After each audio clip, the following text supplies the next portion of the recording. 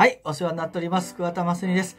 えーこちらの動画ではですね、僕の英語レッスンサイト、桑田真澄イングリッシュの会員様限定の動画、一体どういったものがあるのか、これ一般公開してませんからね、こちらの動画で、えーどういったものがあるのかをご紹介させていただこうかと思います。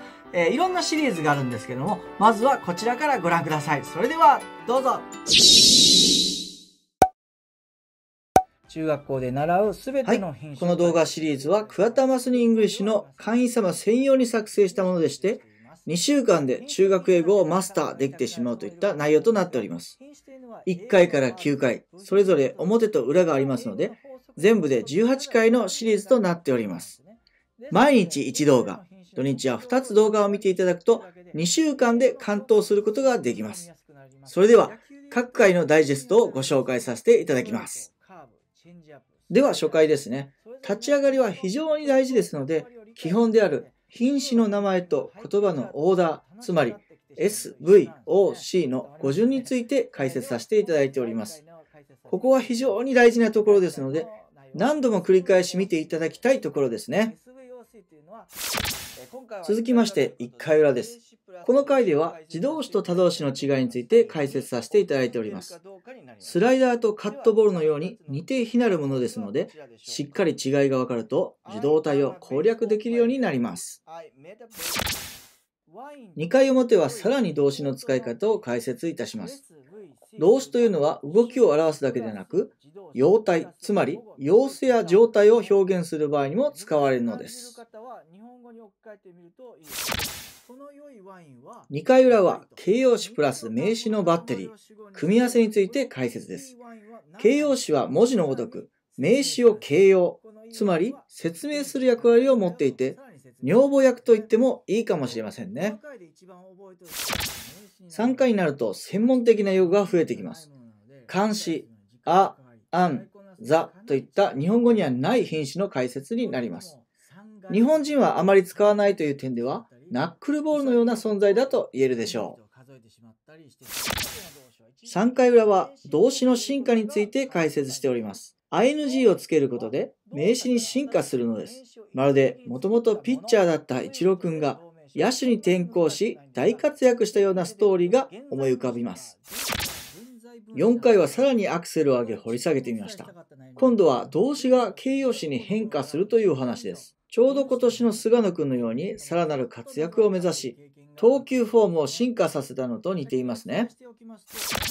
4回裏はちょっと言葉が難しいですが、過去分詞についてです。これは動詞から分かれ出た言葉という意味なのです。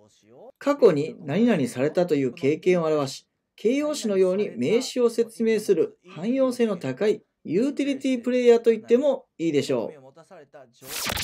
5回表は日本人が苦手、前置詞についてです。前置詞のクリーンナップと言ってもいいくらいよく登場する in、on、at が持つコアのイメージをお伝えいたします。5回裏は不定詞についてです。to が動詞につくと名詞のような働きをするのですが、ing がつくことで名詞の働きをする同名詞と何が違うかを解説いたします。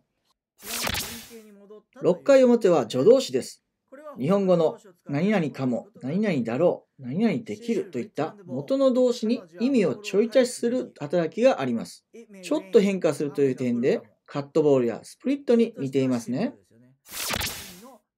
6回裏はさらに掘り下げた助動詞の解説となっております。実は英語に未来形はないということをご存知でしたでしょうか？間違いだらけの日本の英語教科書の内容を修正させていただきます。7回表は副詞です。副詞は字のごとく、主ではなく副詞的な品詞、つまりその他の品詞と言ってもいいでしょう。7回裏は接続詞です。英語もバッティングもつないでいかないと成立しませんよね。接続詞というのはこれから同じ方向で話を進めるのか、逆方向で話を進めるのか、事前に伝えるという役割もあるのです。8回表は疑問詞です。いわゆる 6W1H ですね。質問する側はこんな情報をくださいと相手に伝えるときに使います。8回裏は代名詞です。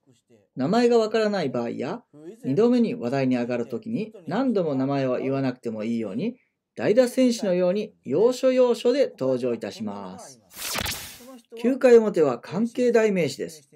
これまでにあった接続詞、疑問詞、代名詞が合体したような品詞で、走攻守ができるオールマイティな選手のような存在です。9回裏、最終回は関係副詞です。接続詞、疑問詞、副詞の要素を併せ持った非常に高度で重要な働きをする品詞です。ここが中学英語の最大の難関と言ってもいいでしょう。ここを理解できれば中学英語は完全試合達成と言ってもいいでしょう。ぜひ頑張ってくださいね。はい。すべてのイニングをダイジェストでご紹介させていただきましたが、いかがだったでしょうか？ただいま、期間限定で桑田マスニイングリッシュのサンプル動画ページにて、1回表の動画を公開していますので、もしご興味があればご覧いただけると嬉しいです。また、会員様限定ページにある動画もサンプルとしていくつかご視聴できるようにしてありますので、よければ覗いてみていただければと思います。それでは最後までご視聴ありがとうございました。今後とも桑田マスニイングリッシュをよろしくお願いいたします。それではまた。